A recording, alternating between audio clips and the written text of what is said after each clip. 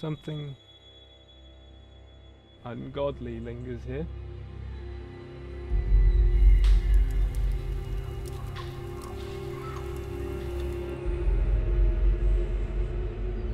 She found her way into your mind.